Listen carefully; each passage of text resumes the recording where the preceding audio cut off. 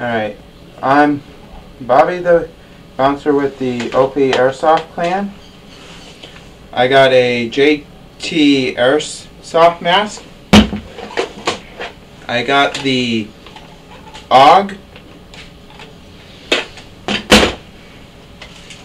I have a shotgun with a scope.